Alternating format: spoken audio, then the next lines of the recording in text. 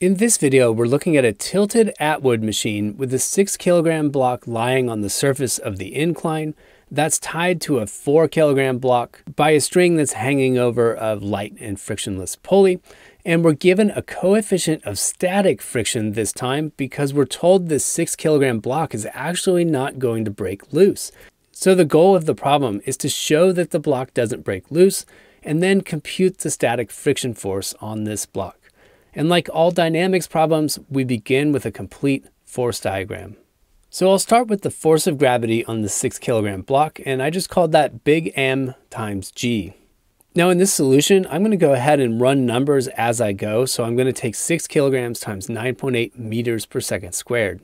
And this gives me a weight of about 58.8 newtons. Now the next thing we're going to do is draw a perpendicular into this diagram.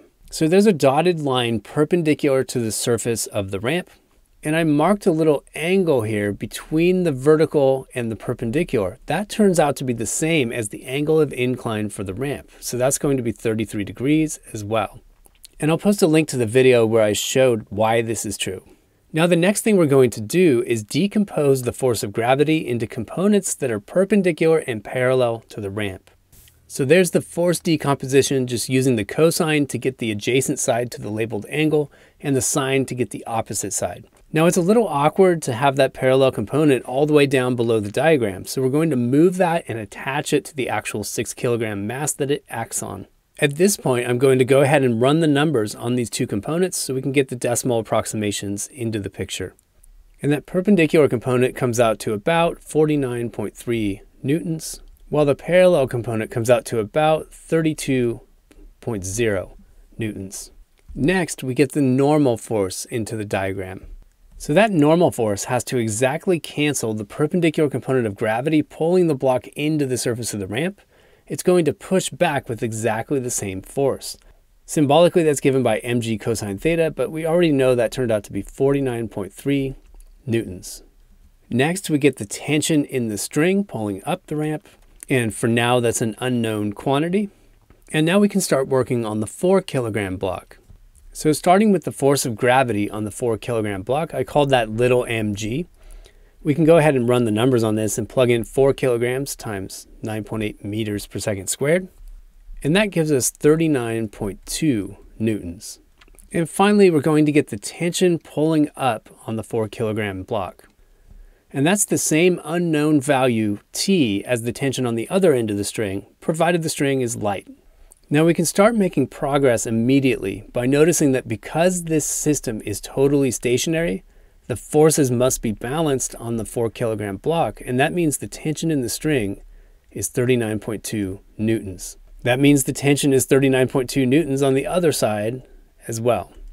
And now I notice that my two forces pulling parallel on the 6 kilogram block? Well, the tension is bigger than the parallel component of gravity. It's pulling up at 39.2 newtons while gravity pulls down the ramp with 32 newtons. This means to keep the block stationary, the static friction force must be pointing down the ramp. So we've made some progress here. We figured out the direction of the static friction force, and now it's not that hard to find the size of the static friction force. So we're going to, again, assume that nothing is breaking loose here, everything is motionless. That means the forces are balanced on the six kilogram block.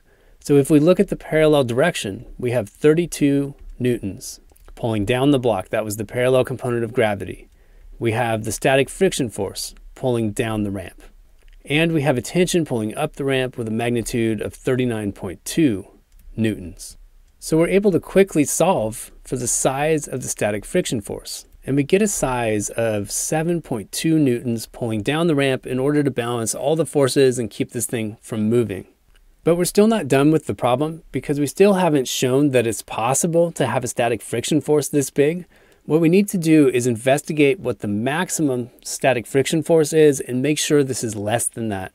So the maximum possible static friction force, that's what's related to the normal force by our static friction coefficient. So we plug in the numbers here and we have a static friction coefficient of 0.55 and a normal force of 49.3 newtons. This gives us a maximum possible static friction force of about 27.1 newtons. So our actual static friction force needed to be 7.2 newtons in order to keep things held in place, and that's well within the margin of our maximum allowed static friction for the problem. So that shows this thing is not going to break loose, and we're done with the problem.